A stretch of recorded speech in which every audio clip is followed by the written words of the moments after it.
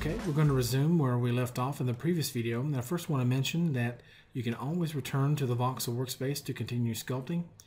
And I should mention that if you use the live clay or subdivide brush to dynamically tessellate your model, then you get the dual benefit of having extra resolution for sculpting and texturing. If I zoom in and hit the W key to toggle wireframe on, you can see varying levels of tessellation on this model. And the subdivide brush allows me just to basically brush select a certain area or I can use any one of these selection tools select that area and it will apply loop subdivision so it works really well with extremely fine details. Uh, live clay is another option as well. You can dynamically tessellate on the fly. So any areas where you know the camera is going to be focused in tight, uh, maybe the head area, then uh, you can go in with live clay and add some more tessellation.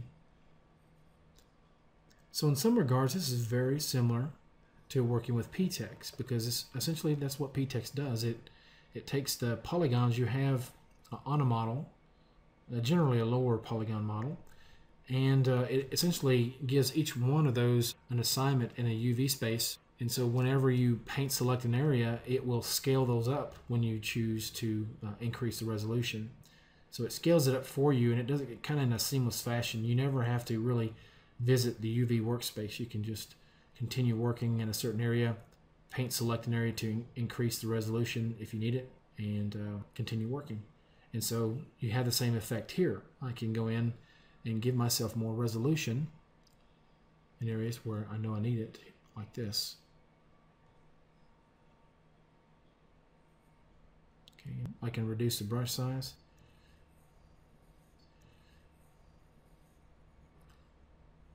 And it tessellates even more under the brush.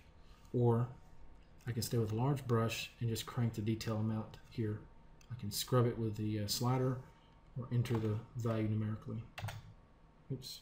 I'm going to skip forward in this recording just a bit. Okay, so I can go back to the paint room.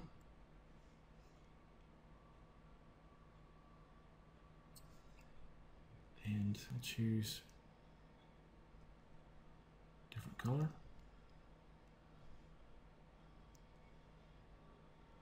Create a new layer.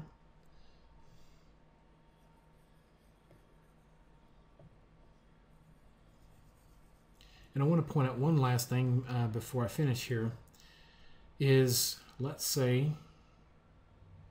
let me actually go in and I'm going to just delete all that on that layer.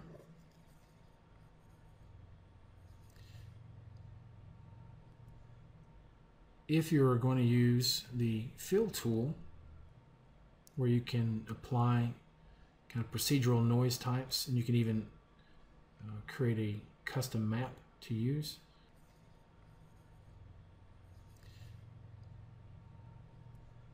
And I can select a texture to use.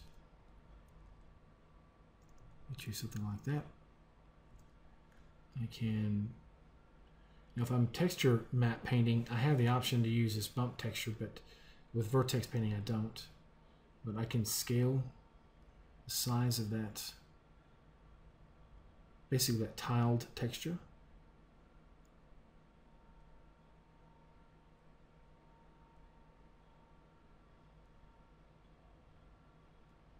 I can go above 10 if I need.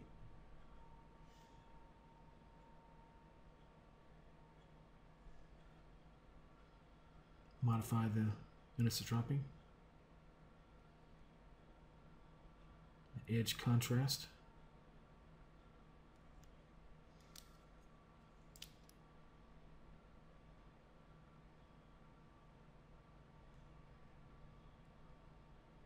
Modulate color, so it's going to adopt the color that I have here.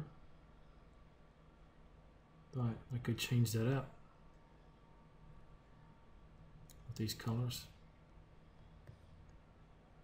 Let's go with a bright orange, maybe.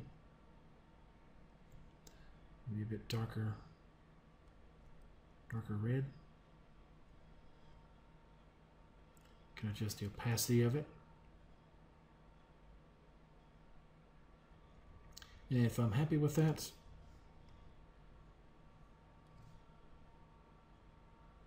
turn off color tolerance, hit layer.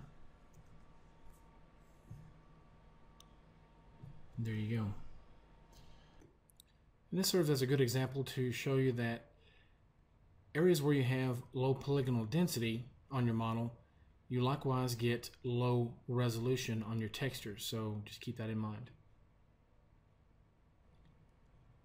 So once again, I want to mention that once you're done with your vertex painting, if you want to bake everything down to a low polygon retopo mesh, at that point you could resume texture painting on image maps that are UV based.